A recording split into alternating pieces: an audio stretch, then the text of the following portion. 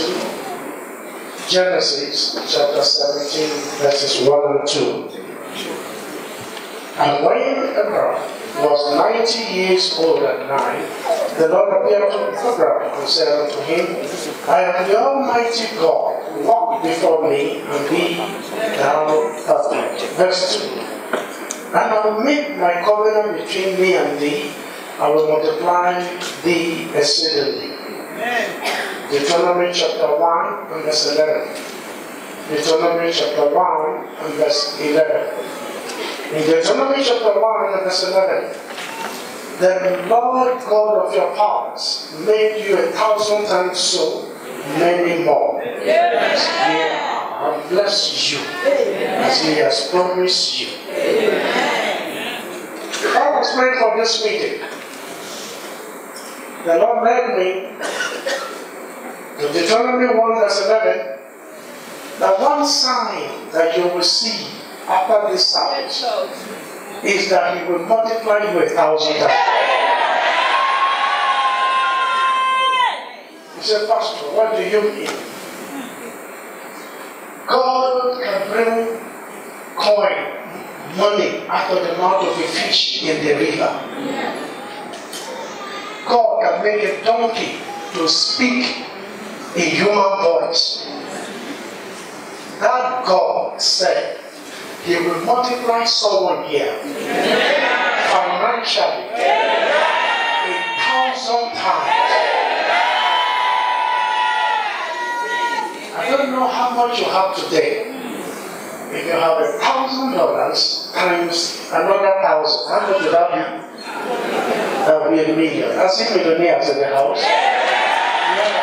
The passage you read in Genesis 17 where God told Abraham that He is the Almighty, made me to do four things tonight. Number one, I'll define what our theme is all about, and then we'll move very fast from there. So, the first I'll do tonight is definition of terms. You don't talk about Almighty, but I'm talking about mighty. So the first I want to define is mighty. Mighty means having or showing superior power or strength. When there is an exceptional strength, exceptional power, that person can be said to be mighty. So when somebody accomplishes something big, say what a mighty accomplishment. Now, so if you understand what mighty is, and that leads us to the Almighty. The Almighty stands for unlimited power. Having unlimited power, omnipotent. In other words, if mighty is having superior strength, superior power, the Almighty means having unlimited power. And so if we're talking about a God that has unlimited power, then he must show that unlimitedness now. Amen. In the name of Jesus. Amen. In Psalm 115 and 3, Psalm 115 and 3, but our God is in the heavens. He hath done whatsoever he hath pleased. Anything he pleased, he does. He said, I'll show mercy on whom I'll show mercy. They can heal anybody. They can deliver anybody. He said, even the hair on your head are all numbered. This God I'm talking about has asked me to tell you, He will multiply you a thousand. In Jeremiah 32, 26 and 27, Jeremiah 32, 26 and 27, then came the word of the Lord unto Jeremiah, saying, Behold, I am the Lord, the God of all flesh. Is there anything too hard for me? Is there anything too hard for me? Listen to me, friends. What will happen where you are sitting Yes, in a matter of minutes will make you know you are not serving God in vain. Did you hear what I just said? I preached my first message in church November 1979. And from 79 to today, I've done nothing than preaching this one. If it's not working, I wouldn't be doing it. Did you hear what I just said? If it's not working, I wouldn't be doing it. It's working. And he told me he's going to multiply somebody here. I don't know where. Stand on your feet. Lift up your two hands. Lift up your two hands. Have your power. Go ahead, pray in tongues. Pray in tongues in a minute or two. Go ahead, pray in the spirit. Jehovah, Jehovah, by the power of the Holy Spirit, by the power the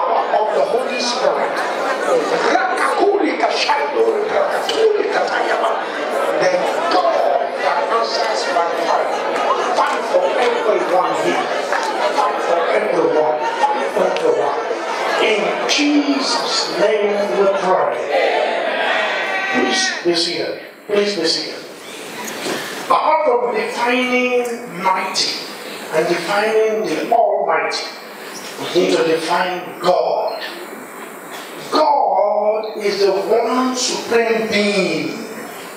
He is the creator, He is the ruler of the universe. And so when we now combine the Almighty God, we are talking about the one who created everything, who created everything for himself. You hear what I just said? And that is why any man that stands against him is just being a fool. I would say a fool has said in his heart that God. This God can make somebody sleep and not wake up.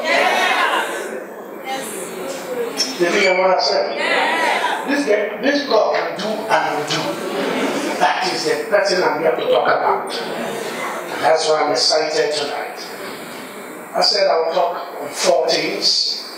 And the first one is to define what we are talking about. Second thing I want to do is to inform you that there are other gods. If there is the Almighty God, it means there are other gods. And many people foolishly think faith is ignorance. They think faith is not accepting the truth. They mean faith is trying to say that no devil. My friend, stop deceiving yourself. There's a devil. Hello? There is a devil. The secret of any success is to know the strength of your opponent. If you know what your opponent has, and you know what it doesn't have, you can now boldly challenge your opponent. So if you know there's a devil and you know where his limit ends, where his strength ends, where he can cross, then you will be in a better position to deal with the devil. So there are other gods. In Isaiah 37, 18 to 20, Isaiah 37, 18 to 20. Of a truth, Lord, the kings of Assyria have laid waste all the nations and their countries, and have cast their gods into the fire, for they were no gods. They the works of men's hands, wood and stone, wherefore they have destroyed them. Now therefore, O Lord our God, save us from his hand, that all the kingdoms of the earth may know that thou art the Lord, even thou only. Brethren, I want you to know there are other gods. There are witches. Tell your neighbor there are witches. I know somebody will say, Pastor, don't talk about that. Talk about the great God. I'll tell you about great God. That's why we're here. But I will tell you there are witches. Three months ago, May this year, in our neighbor's office, I was to preach, and there was a testimony that came that shook me. I'll tell you that another day. How many want to hear it today? The long and short of it was that there was a man from the polygamous family. And because, you know, for polygamous family, you want your children to excel. This other person, children should not come out. And juju and so on and so forth and done. So this man got admission to travel abroad to go and study. And then he applied for scholarship and God gave him scholarship. And he was so excited. They sent him tickets and he kept getting to his church that when he has arrived there, he will call and give the testimony that this is where I am. Went to the airport, entered the aircraft, aircraft took off. And you know you are flying from Nigeria to US, for example. At a point, you need to remove your shoe. if not, it could be uh, uncomfortable for you. A long journey. So he removed the shoes, he slept, they brought through the earth, and then one thing I wanted to go and himself, he didn't see one leg of the shoe. He stopped for it, he couldn't see. Rather, he reported to the hostess, they said, don't worry, when we come down, you see. Ah, that of shit is happening. Eventually, when the landlord, he stayed back, and then everybody came down, they checked, they never saw any shoe. And the people felt, you you came with two shoes?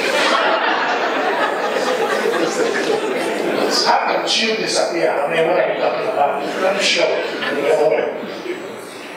And then, of course, he can't remain in the aircraft, so he has to come down.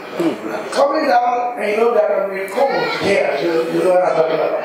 You are moving one leg shoe, you have no shoe. The application of this, I want, it's all well there. What's going on? My shoe in the aircraft.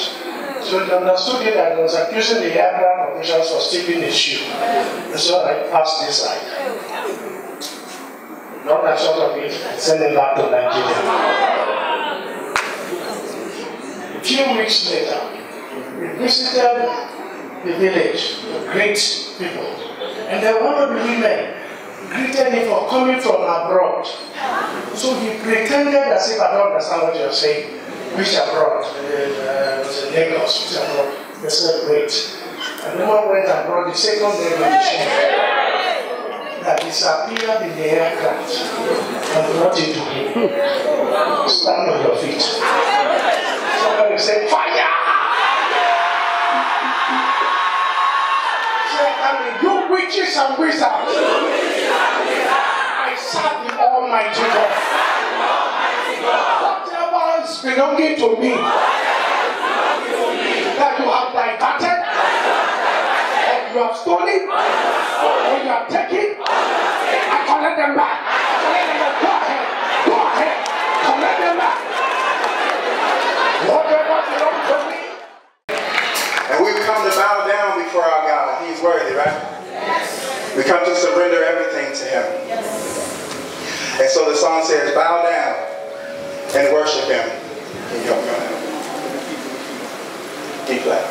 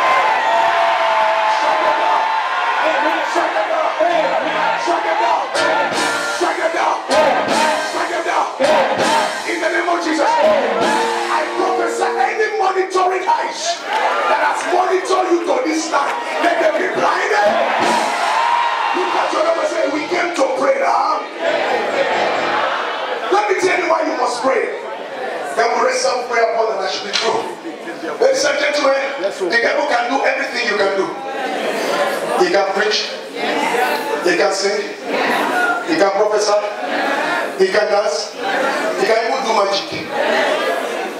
But he can't pray. Who is he going to pray to? In which name? Give you another reason why you must pray as if you are angry tonight. Fire! Isaiah 34 verse 11 says, But the covenant and the bittern shall possess it. You possess your life. He said, The whole also and the raven shall dwell in it. Whole and raven will not dwell in your life. When you see covenant, whole and raven dwelling in has become an empty habitation. I prophesy, your life will not be empty. He said here, he, he stretched out upon it the line of confusion. In other words, the reason why that life became uninhabitable was because a line of confusion was stretched against it. Then too, he said, and he threw the stones of emptiness. Doesn't matter how high, how hard the person works, if the stone of emptiness has been thrown, everything is empty. Change your pattern, leave that Old Testament one. Look for the New Testament.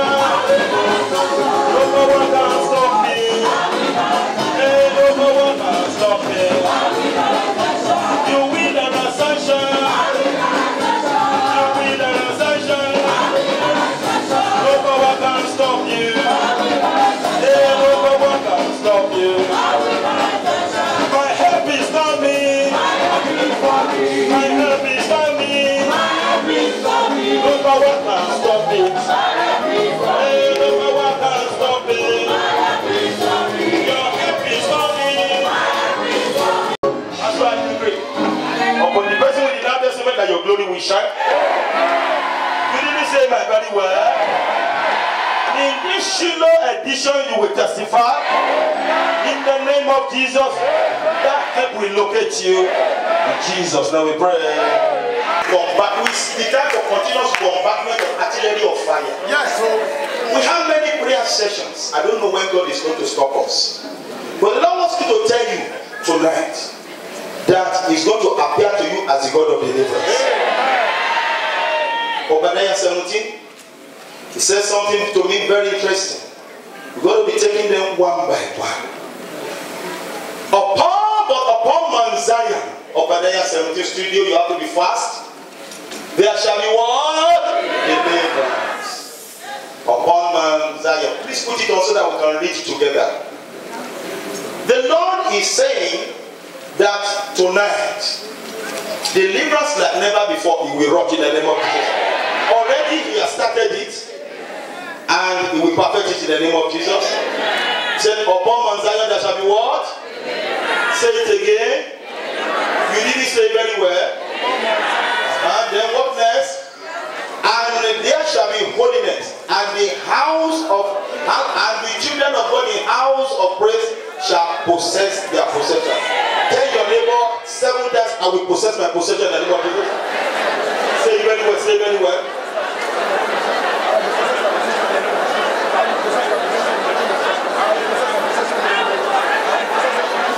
You it is very important in possessing your possession that you have to do a good warfare. Like Pastor Omatosho told us, certain decades of the warnings of 1 to Timothy, with the prophecies that have gone ahead of you, do a good warfare. Some people they normally say, why do we shout in prayers? Why don't we just talk gently and just go, don't talk with the devil? You have to talk with the devil.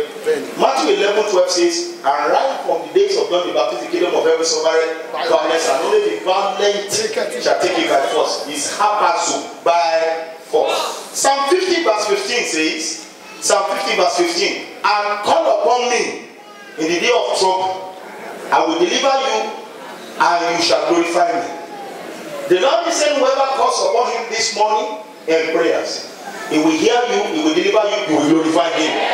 You didn't say amen very well. Eh? In Psalm 55, verses 16 and 17, I love those two verses. Psalm 55, verses 16 and 17. As for me, I will call upon God, and the Lord shall save me. Evening, morning, and at noon, I will pray and do what? And do what? Keep quiet. You didn't say that, and um, keep quiet. So why don't you cry aloud? And then when you cry aloud, what will he do? He will hear your voice. Say, God will hear my voice. Acts chapter 2, verse 21. I'm laying you so that you know why we are shouting. Acts 2, 21. Let's read it together. What to go? Whoever calls on the name of the Lord shall be. Shall be saved in the name of Jesus. Then look at Joel chapter 2, verse 32. Joel 2, 32. God is sending an instruction to us. And it shall come to pass, that we read together? What to go?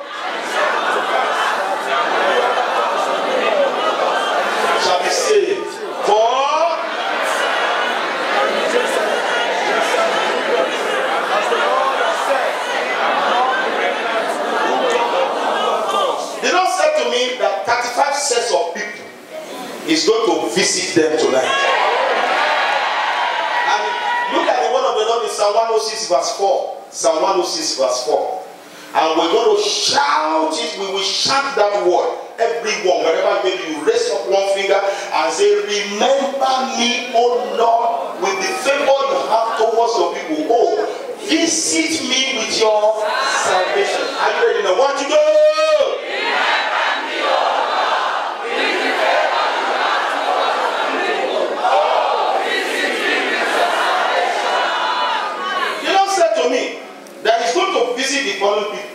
Number one, if no, let me give you this advice. It's a prayer advice. In CAC where I was born, whenever any prophecy goes forth, even if it's not for you, you take it and bank it. It will work. You say amen louder than the owner. Number one, the Lord is saying, those of you at a point where you don't understand what God is saying again, shall be visited of Jesus. Number two, those of you who are planning to seek alternative help outside Jesus, and there is no help in Egypt. The Lord is saying tonight on that matter, He will visit you in the. Number three, those of you who have been ridiculed heavily and mocked mercilessly shall be visited tonight in the name of Jesus. Don't want to see you in that place. Someone just hates you and that without any cause. You shall be visited in the name of Jesus. Without answers, the Lord is saying tonight, He will visit you in the name of Jesus. Can you say a bigger amen to that? All those who are experiencing evil trend, evil pattern that is not good in your family, you are suffering collectively. You are suffering uniformly in your family. Evil family pattern, collective captive, ìyà àjọpín ti ẹbí. Tonight with a loud amen, the Lord will visit you in the name of Jesus. Is very interesting. And I said, no, thank you. When he said to me, he said, he said, all those who are on the same spot for too long, after the order of that man by the pool of Bethesda, in your career, in your home, concerning what to carry, you have been on the same time for too long. Tonight the Lord will visit you in the name of Jesus. The Lord will you in the name of Jesus. Do you know some people are receiving their miracles already? Then the person said, those who are depressed, sick and tormented, tonight the Lord will visit you in the name of Number eight, he said, those who have become shadows of themselves, and you begin to doubt yourself, you are having low self-esteem. The Lord is saying, no, tonight, with a very loud he will visit you in the name of. Those of you suffering from failure at the edge of success, you are suffering from the spirit of almost get there. And the Lord said to me that someone here, you have been failing a particular exam. You have been failing that exam. You only have one option. Tonight, as the Lord lives and His Spirit lives, you won't fail that exam again. In the name of Jesus, you shall be visited. You shall be visited. You shall be visited.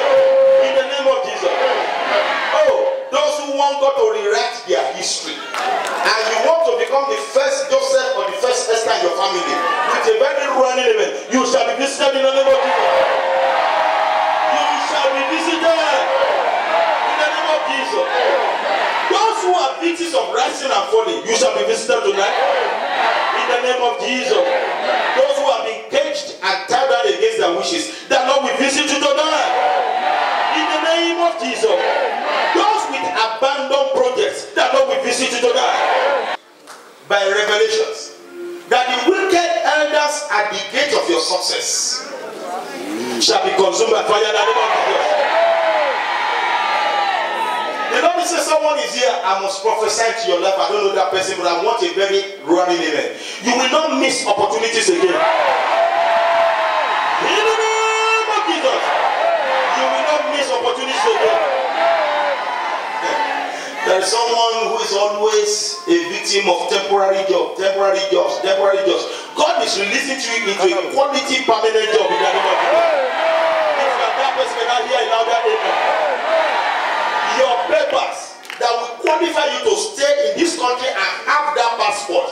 Now the grace for you to come to pass, receive in the name of Jesus.